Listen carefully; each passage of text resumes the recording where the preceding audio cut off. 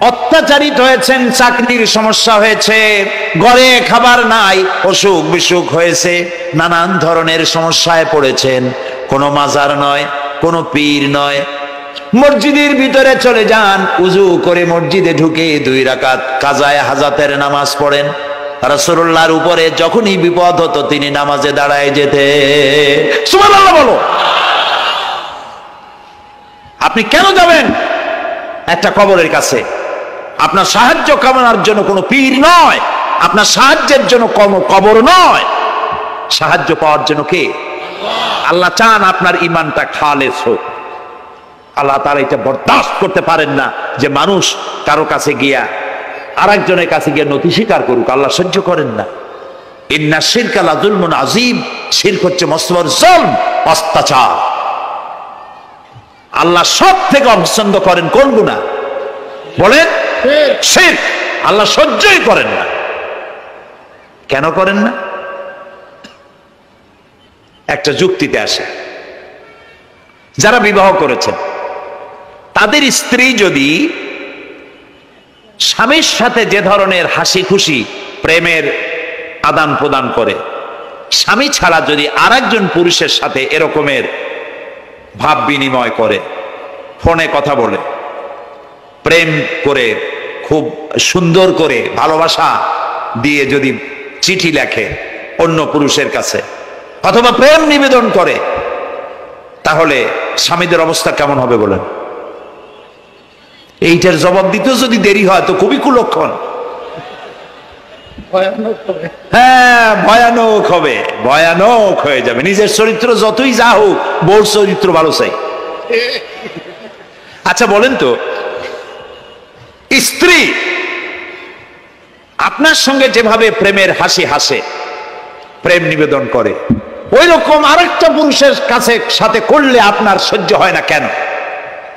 আপনি স্ত্রীকে স্ত্রীর উপরে আপনার অধিকারটা কতখানি? কি জন্যে? আপনার স্ত্রীর যে হাসি যে মিষ্টি হাসি যা আপনার প্রাণ কেড়ে নেয় ওই হাসিতে আপনার কোনো অবদান আছে? বলেন? তার যে টানা টানা চোখ সুন্দর ভ্রু, মাথায় অনেক লম্বা চুল, শরীরটা সুন্দর, যৌবন, রূপ, এর ভেতরে আপনার কোনো অবদান আছে? হ্যাঁ আছে, একটু তো আছেই। আপনি যে যে মুখ দিয়ে বউটা হাসে, সেই ঠোঁটে একটু লিপস্টিক লাগাইছেন যে চোখের জন্য আপনি পাগল, সেই চোখে একটু কাজল লাগাইছেন। শরীরটাকে পেঁচাবার জন্য সুন্দর একটা শাড়ি কিনে দিছেন। একটা শাড়ি দিয়ে একটু লিপস্টিক কিনে দিয়ে, চুলের একটা ক্লিপ কিনে দিয়ে, একটা ভালো শাড়ি কিনে দিয়া, স্ত্রীর উপরে যদি এত অধিকার আছে যে কোনদিন মৃত্যু পর্যন্ত কোন প্রেমের হাসি, ভালোবাসার আদান প্রদান আপনি ছাড়া আর কারও সাথে করতে পারবে না। এইটা যদি আপনার অধিকার এভাবে প্রতিষ্ঠিত হয় তাহলে এই হাসি যিনি দিলেন এই দাঁত এই সুন্দর চোখ এই রূপ এই যৌবন জাল্লা তারা দিলেন তার সামনে কোনো পীর অথবা কবরের সামনে যদি হাত পাতে আল্লাহ বরদাস্ত করেন না। কথা কি বুঝে আসছে? কথা বুঝে আসছে? আলহামদুলিল্লাহ বলে। আলহামদুলিল্লাহ। বুঝলেই আমাদের কষ্ট সার্থক। আলহামদুলিল্লাহ বলি। আলহামদুলিল্লাহ। আমরা যেন আল্লাহরে চিনতে পারি বুঝতে পারি আমার বিশ্বাস করুন, কোরআন আমার সামনে, আল্লাহর কসম, কোন জীবিত পীর, কোন মৃত্যু পীর আমার ভাগ্যের ভালো বা মন্দ করার কোনো অধিকার রাখে না রাখে না রাখে না।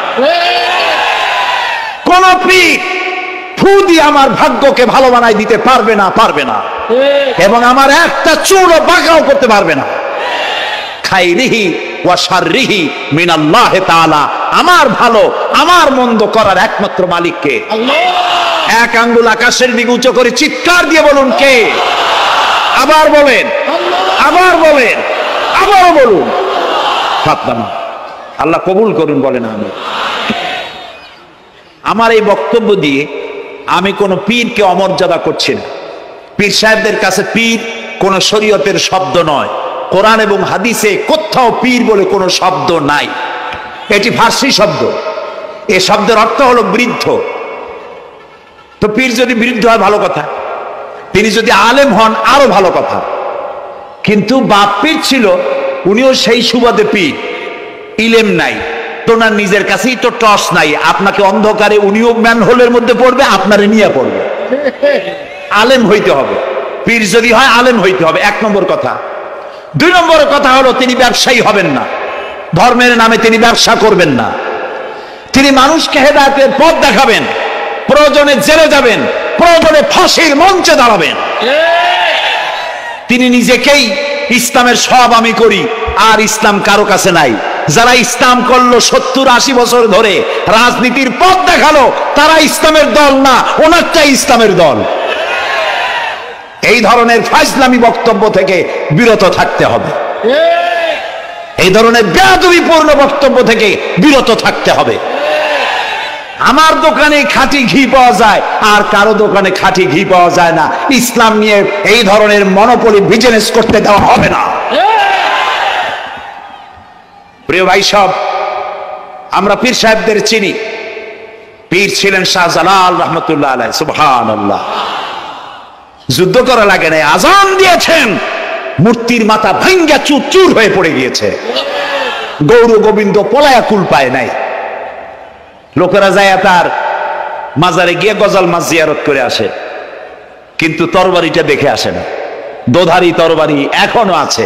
সুবহান আল্লাহ বলেন পীর ছিলেন হজরতে বাহাউদ্দিন নকশবন্দি মুজাদ্দেদ আল ফেসানি রহমতুল্লাহ আলাই বড় আব্দুল কাদের জিলানি রহমতুল্লাহ আলাই খাজা মঈনুদ্দিন চিশতি রহমতুল্লাহ আলাই শাহজা খান জাহান আলী রহমতুল্লাহ আলাই কত অলিউল্লাহর মাজার দিয়ে আমার দেশ ভরা আলহামদুলিল্লাহ কর এরা একদিকে মানুষকে মুরিদ বানায়া মুরিদের টাকা দিয়ে নিজদের পকেট ভরেন নাই। ওনারা এরকম করতেন না এইরকম করতেন। আর রসুল্লাহ বলেছেন, এই রকমের হাতের মর্যাদা নাই, এই হাতের মর্যাদা। আমি পীর দেখছিলাম বাইতুশরফের পীর হজরত শাহ আব্দুল জব্বার সাহেব। আল্লাহ তাআলা জান্নাতুল ফেরদাউসের মেহমান বানায় এই বাংলাদেশে শত শত মসজিদ, মাদ্রাসারে তিনখানা তৈরি করে গেছেন। কর। বৃষ্টির মৌসুমে চট্টগ্রামের বাড়ি তার চোদ্দ বছর মাদ্রাসায় ওয়াজিদিয়া চট্টগ্রামে চোদ্দ বছর বোখারি শরীফ পড়িয়েছেন। কি মানের আলেম? খালি পীর না। মুরিদরা যত টাকা দিত, এই টাকা দিয়ে বড় বড় মাদ্রাসা মসজিদ করেছেন। আর বৃষ্টির সময় সাথী সঙ্গী নিয়ে বস্তি এলাকায় যেতেন। পলিথিন দিয়া ছাওয়া বাচ্চা আর তার স্বামী নিয়ে কাতরায় এক কোনায় বসে আছে। খাবার নাই, চাউল নাই, অসুস্থ। তাদের চাউল দিয়ে আসতেন। তাদের রান্না করার শাকসবজি দিয়ে আসতেন, ওষুধ দিয়ে আসতেন, হাড়ি পাতিল দিয়ে আসতেন, বন্যা হলে, তুফান হলে টাকা উজাড় করে যা মরিদ্রা দিত সবগুলি উজাড় করে মানুষের খেদমত করতেন কাজী যারা জামায় অনেকগুলো পকেট সমানে নিতে থাকে আর ভরতে থাকে এইভাবে করে। এই ব্যবসায়ীদেরকে পরিতাপ করতে হবে। পীর হচ্ছে ওই সমস্ত লোক যারা নাকি ধর্মের নামে ব্যবসা করে না, বরং আল্লাহ দিনকে প্রতিষ্ঠা করার জন্য কথা বলে। প্রিয় ভাই সব আমাদের জেহেন সাফ করতে হবে। পরিষ্কার করে বুঝতে হবে আমার ভালো আমার মন্দ কে করতে পারে। সম্রাট শাহজাহান নাম শুনেছেন? কোথার বাচ্চা বলেন? দিল্লির সম্রাট। সম্রাট শাহজাহান পৃথিবী জোড়া নাম তার কবি বলছেন শাহনে জাহা কো جنہیں فخر سے دیتے تھے باز واز قبر میں ہے سورہ الحمد کی محتاج زیشہ شاہ جہاں کے কর দিয়া ট্যাক্স দিতে পারলে জনগণ নিজেদেরকে গৌরবান্বিত বলে মনে করত। সেই শাহজাহান কবরে শুয়ে আছে, সুরায় ফাতেহার মোহতাজ হয়ে আছে যদি কেউ আমার কবরের কাছ থেকে হেঁটে যাইতো আর একটু সুরায় ক্লাস পড়ে সব রেসানি করতো, আমি কিছু পাইতাম। আহারে, এই এতিম ফাকির হয়ে শুয়ে আছে। এক ফকির দিল্লি ঘুরতেছে। একজন বলছে, ভাই, তোমারে তো খয়রাত করে দেখতেছি, আমি সেই ছোটবেলা থেকে খালি তুমি খয়রাত করো। একটা জিনিস আপনারা মনে রাখবেন গরিব, আজকে যারা গরিব, পরিশ্রমের মধ্য দিয়ে কালকে তারা ধনী হতে পারে। কিন্তু যারা ভিক্ষুক যারা ভিক্ষা করে, জিন্দিগিতে কোনোদিন তারা বড় হতে পারবে না। ভিক্ষা করা যাদের অভ্যাস, জীবনেও বাড়ি করতে পারবে না, জীবনেও ধনী হইতে পারবে না, কিন্তু গরিব ধনী হইতে পারবে। কারণ হলো আল্লাহর কাছে দুইটা দুইটা বৈধ জিনিস অত্যন্ত ঘৃণিত। কয়টা? একটা হলো তালাক আর একটা হলো ভিক্ষাবৃত্তি, মানুষের কাছে চাওয়া। আল্লাহ পছন্দ করেন না। তো ভিক্ষুক ঘুরতেছে, একটা লোক বলো মিয়া, তোমার তো সারা জীবনই খরচ করতে দেখি। খরচ করব না, করব কি? যার কাছে যাই, সে দেয় চাই না দুই আনা, এক টাকা। এর বেশি তো দেয় না তেদি দিয়ে আমি কেমনে বড় লোক হব? কয় যে, তুমি বাচ্চারে চোখে দেখো না? বাচ্চারে চোখে দেখো না? কয় বাচ্চার কাছে কি আমার মতো লোক যাইতে পারে নাকি? কল না, যাইতে হবে, যাও। বাচ্চা একবার যাবা, এমন দেওয়া দেবে, জীবনে আর তোমার খরাত করা লাগবে না। পাতি শিয়ালের পিছনে ঘুরে তো লাভ নাই।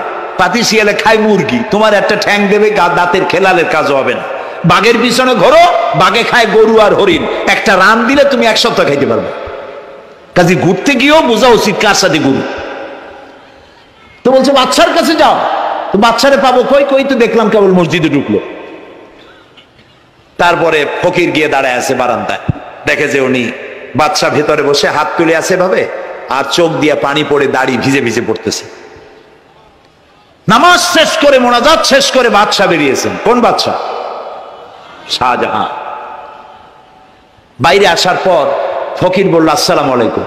বলে আর ফকির রওনা করছে। বাদশা বলে, দাঁড়াও, তুমি যে রওনা করলা তোমার তো ভিক্ষুক মনে হয়। আর লোকেরা যারা ভিক্ষুক না, তারাও তো আমার কাছে চায়। আর তুমি তো ভিক্ষুক, চাইলে না কেন কিছু? ভিক্ষুক বলে, জাহাবানা আমি কিছু চাইতে এসেছিলাম আপনার কাছে, কিন্তু আপনার করুর অবস্থা দেখে আমার জ্ঞানের চোখ খুলে গিয়েছে। আমি দেখতে পেলাম, আমি যার কাছে চাইতে এসেছি, আমি তো কান্দি না, হাতও বাতি নাই, যার কাছে চাইতে আসতাম দিল্লির সম্রাট, আবার কোন সম্রাটের কাছে হাত পেতে ভিক্ষুকের মতো কি জানি চায়, আর চোখ দিয়া পানি পড়ে দাড়ি ভিজে ভিজে পড়ছে। আমার জ্ঞানের চোখ খুলে গেছে। দুনিয়ার বাদশার কাছে আর চাইব না। বাদশা কান্দে যে বাদশার কাছে তার কাছেই চাইব। প্রিয় ভাই সব, এই জন্যে জিহেন সাফ করে ফেলুন। দুনিয়ার কোনো মানুষের জন্য মানুষের কাছে নয়, কোনো কবরে নয়, কোনো কারও কাছে নয়। আল্লাহ তালার কাছেই আমরা নামাজের মধ্যে ঘোষণা করেছি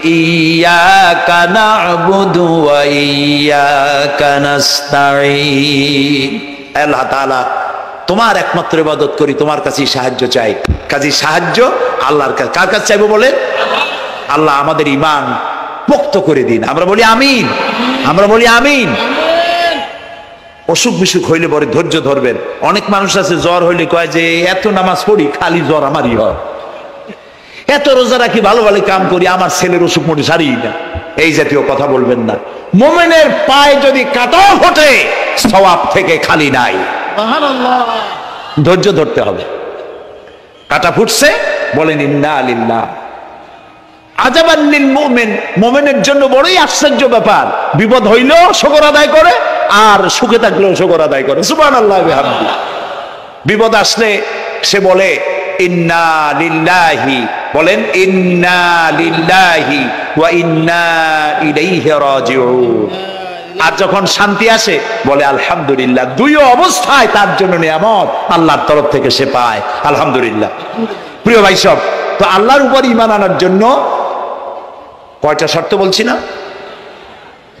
এই যে প্যাচ লেগে গেছে, কয় যে তিনটা? আল্লাহর উপর ইমান আনার জন্য শর্ত কয়টা? চারটা চারটার বলছি কয়টা? দুইটা।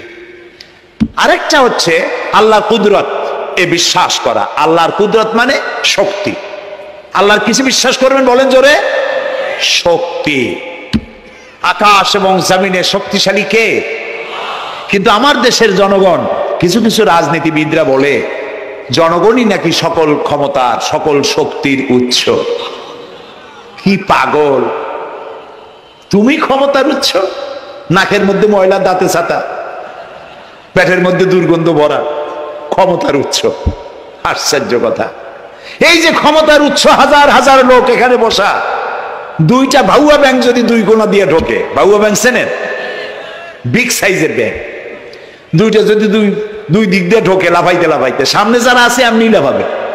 অন্তত টঙ্গি তামিরুল মিল্লাত মাদ্রাসা ছাড়াইয়া তার কবে তারপরে ফিরে তাকায় বলবে, ভাই, আমরা দৌড়াই কেন? ব্যাংকের সামনে অসহায়, বল্লা ভীমরুলের সামনে অসহায়, সাপের সামনে বিচ্ছুর সামনে অসহায়।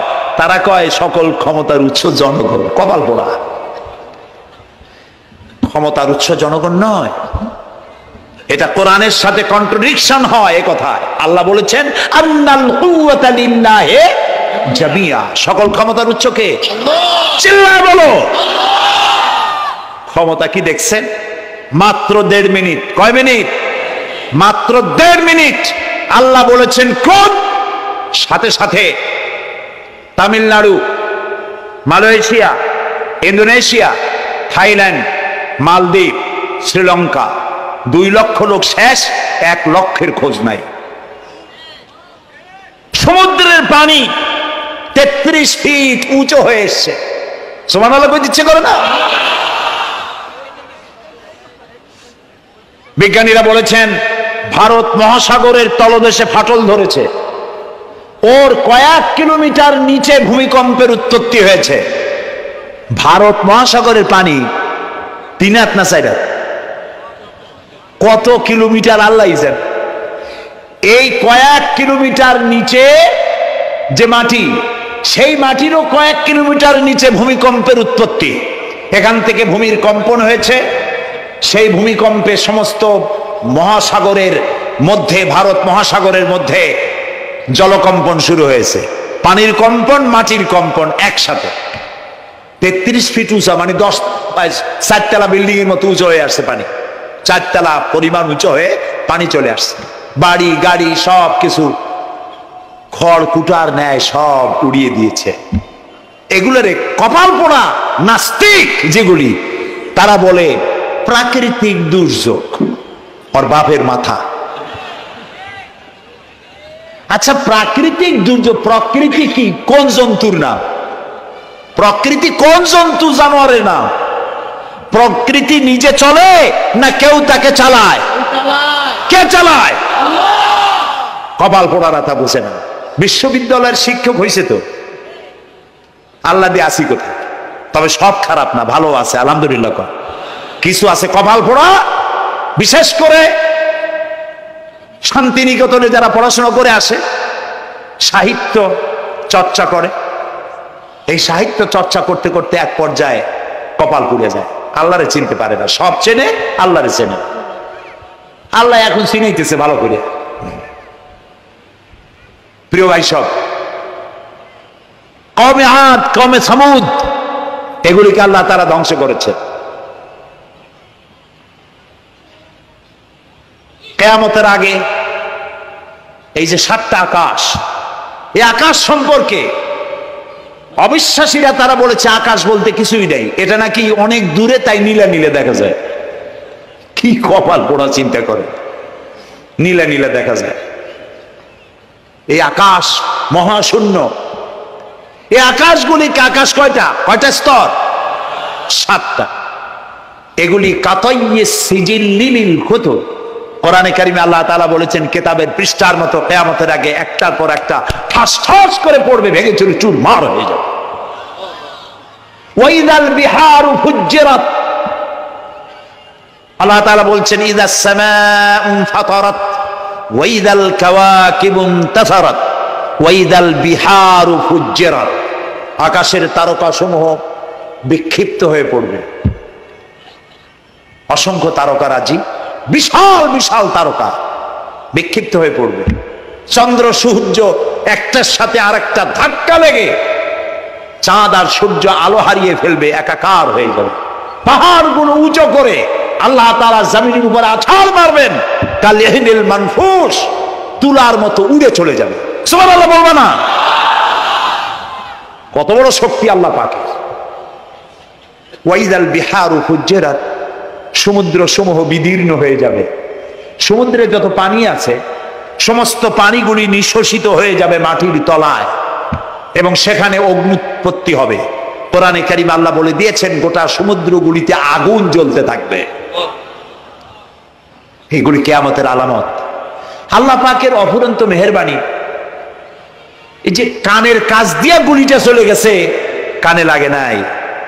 বাড়ির কাছ থেকে কেয়ামত হয়ে গেল, বাংলাদেশে আল্লাহ বাঁচাই দিলেন। সুমান আল্লাহ বলো। আলহামদুলিল্লাহ বলেন। আমাদের প্রতিবেশী দেশগুলিতে যেভাবে আঘাত লাগছে, ওর হাজার ভাগের এক ভাগের আঘাত কয়েক সেকেন্ড যদি বাংলাদেশে হতো, আমাদের সব অপরিকল্পিত শহর। রাজুক পারমিশন দিয়েছে, তিন তিনতলার করা হয়েছে সাততলা এইভাবে অপরিকল্পিত যত বিল্ডিং আছে, এগুলি পচা সিমেন্ট দিয়ে, পচা ইট দিয়ে তৈরি করা হয়েছে। দুই তিন সেকেন্ডের ভূমিকম্প যথেষ্ট এই শহর লন্ডভন্ড করে দেওয়া অসংখ্য মানুষ মারা যাবে। অসংখ্য বাড়িঘর শেষ হয়ে যাবে। এদেরকে রেস্কিউ করার মতো মডার্ন ইকুইপমেন্টসও গভর্নমেন্টের কাছে নাই। এই জন্য আল্লাহর কাছে সেজদা দিয়া গুনার তওবা করতে হবে। আল্লাহ আমাদের মাফ করে দাও। আমার এই গরিব দেশটাকে কেমন পর্যন্ত এই গজব থেকে বাঁচাও। প্রিয় ভাই সব, আল্লাহ তালার ক্ষমতার ওয়াজ আমি আজ করতে পারব না। অনেক লম্বা হয়ে যাবে। কারণ আমাকে তিনটা পুঁজির কথা তো কমসে কম বলতেই হবে, অল্প করে হলেও। শুনবেন তো?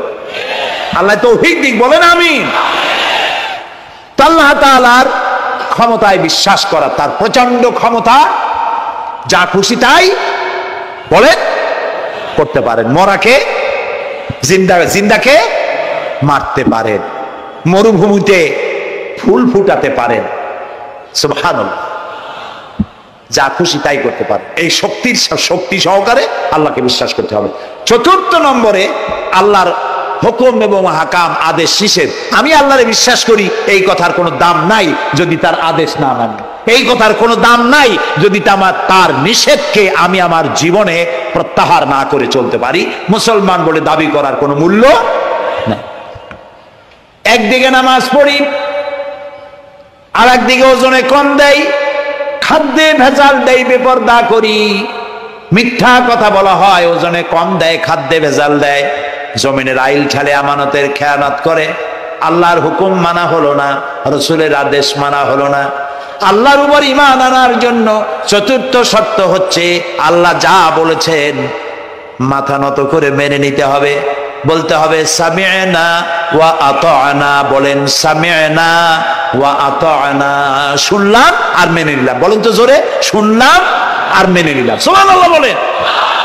মোমেনেরা এই প্রশ্নই করবে না মদ হারাম কেন? মোমেনেরা এই প্রশ্নই করবে না জুয়া হারাম কেন? মোমেনেরা এই প্রশ্নই করবে না জেনা হারাম কেন? একটাই জবাব, মদ হারাম কেন? আল্লাহ হারাম করেছেন, তাই হারাম। জেনা হারাম কেন? আমার আল্লাহ হারাম করেছেন, তাই হারাম। জুয়া হারাম কেন? আমার আল্লাহ হারাম করেছেন, তাই হারাম। কোন যুক্তি নাই। যুক্তির আল্লাহর নিষিদ্ধ জিনিসে যুক্তি তালাশ করে কেবলমাত্র শয়তান। আল্লাহর আদেশ নিষেধের যুক্তি তালাশ করে কে? শয়তান। মোমেনের কাজ হলো সামেনা বলেন ও আনা শুনলাম আর মানলাম। বাস শেষ। কথা খালাস। এই গেল, চারটি শর্ত পুরো হয়ে গেল। এই চারটি শর্ত যদি পূরণ করতে পারি, তাহলে আল্লাহরে বিশ্বাস করছি এটা প্রমাণিত হবে। এটা জাস্টিফাই হবে, এটা সত্যতা প্রমাণ হবে যদি আল্লাহ হুকুম মতো, এক নম্বরে হলো আমি আবার কথাটা প্যাকেট করে দিই, যাতে করে আপনারা বাড়ি নিয়ে যাইতে পারেন। আল্লাহর উপরে ইমান এনেছি, এই কথাটাকে কমপ্লিট করার জন্য শর্ত কয়টা? চারটা। এক নম্বরে আল্লাহর অস্তিত্বে বিশ্বাস। বলেন, আল্লাহর অস্তিত্বে বিশ্বাস।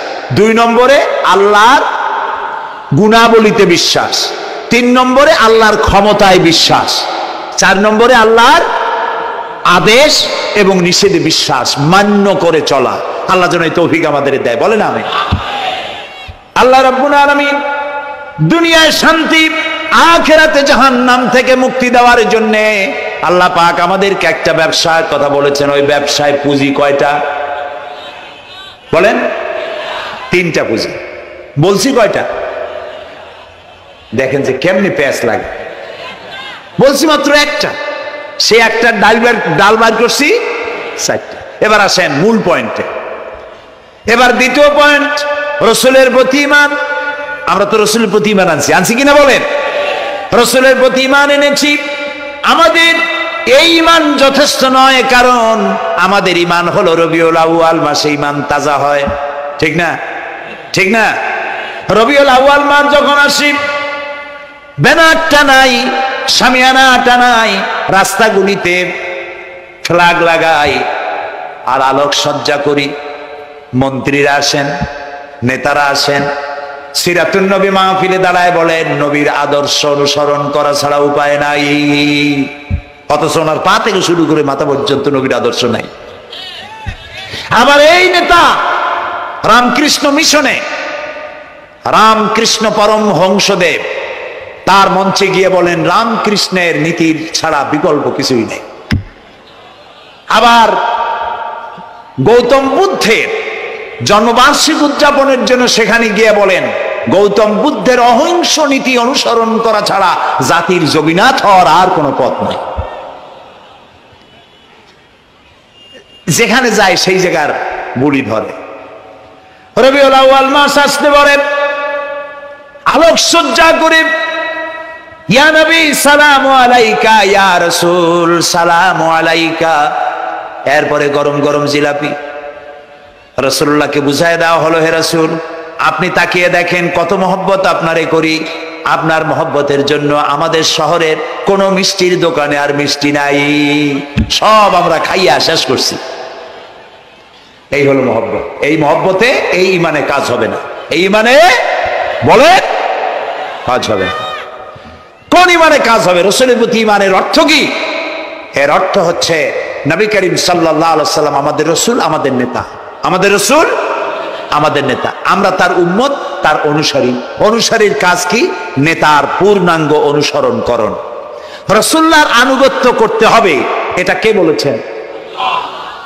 আল্লাহ রব্বুল আলামিন সূরা আলে ইমরানের মধ্যে বলেছেন قل إن كنتم تحبون الله فاتبعوني يحببكم الله ويغفر لكم ذنوبكم والله غفور رحيم হে নবী আপনি বলুন তোমরা যদি আল্লাহকে ভালোবাসো তাহলে তোমার কাজ হচ্ছে তোমরা যদি আল্লাহকে ভালোবাসো তাহলে তোমরা আমার আনুগত্য করো আমার অনুসরণ করো কার রসুলের। বলেন কার? রসুলের অনুসরণ যদি তোমরা করো, খেয়াল করে শুনতেছেন তো? আল্লাহ তালা বলছেন, নবী আপনি বলেন, তোমরা যদি আল্লাহকে ভালোবাসো, তোমাদের এই দাবি যদি সত্য হয়, তাহলে আমার অনুসরণ করো, আমার আনুগত্য করো। আমার অনুসরণ, আমার আনুগত্য করলে পরে তোমাদের কে আল্লাহ রব্বুল আলমিন ভালোবাসবেন এবং তোমাদের তাম জিন্দিগির সমস্ত গুণা খাতা আল্লাহ তালা মাফ করে দিবে। আমরা কি গুণা মাফ করাইতে চাই? বলেন চাই। আসুন রসুলের আনুগত্য করুন। রসুলের আনুগত্য কীরকম? রসুল যেভাবে মোস কাটছে, আমরা সেইভাবে মোস কাটবো। তিনি দাড়ি যেভাবে রাখছেন, আমরা সেইভাবে রাখব। তিনি চুল কাটছেন যেভাবে, সেইভাবে করব। তিনি পায়ের নখ, হাতের নখ যেভাবে কাটছেন, সেইভাবে করব। তিনি যেভাবে বিবাহ করেছেন, সেই শূন্যত অনুযায়ী বিবাহ। তিনি যেভাবে দেশ চালাইছেন, সেইভাবে দেশ চালাবো। রসুলের অনুসরণের অর্থ শুধু এই নয় যে তিনি যেভাবে সুরমা লাগাইছেন, আমি ওই রকম সুরমা দেবো। তিনি যেভাবে কদু খাইছে, আমিও কদু খাব। এইটা নয়। এটা নয় শুধু রসুলের আনুগত্য হবে মুরগির ফার্ম থেকে শুরু করে জাতিসংঘ পর্যন্ত। জীবনের সব ক্ষেত্রে আর বিশ্বাস করতে হবে তিনি শেষ নবী, তারপর আর কোন নবী আসবে আল্লাহ রব্বুল আলামিন সূরা আহজাবের মধ্যে বলেছেন, মা কানা মুহাম্মাদুন আবা আহাদিম মির রিজালিকুম, ওয়ালাকির রাসূলুল্লাহি ওয়া খাতামান নাবিয়্যিন।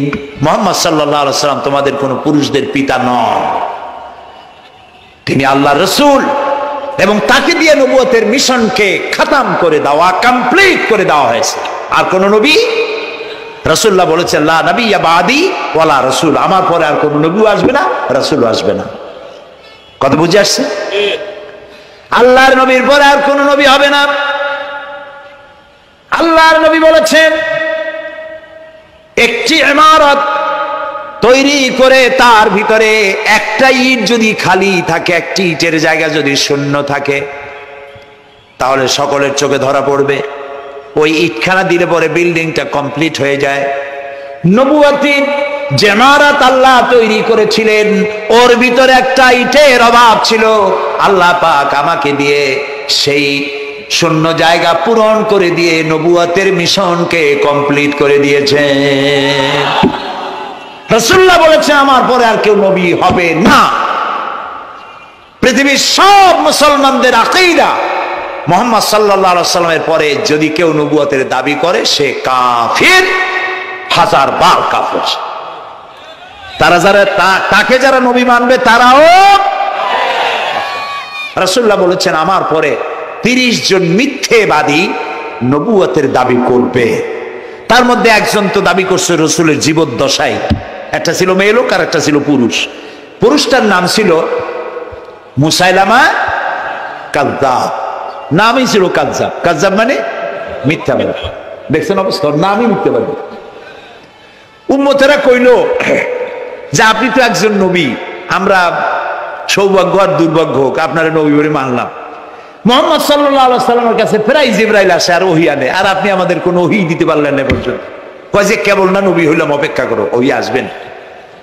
বেশ কিছুদিন যাওয়ার পর খুব চিন্তা ভাবনা করে কয় যে ওহি একটা আসছে। উম্মতারা সব দৌড়ে আসছে, কি ওহি? কয় যে এইমাত্র শেষ রাত্রে জিব্রাইল আসছিল, আইসে আমারে কয়ে গেল, একটা সুরা নাজিল করল। সুরাটা কি? ইন্না তয়না কাল আকাক ফাসল্লি রব্বিকা ওয়াজাক ইন্না শাহানিয়াকা হুয়াল আবলাক।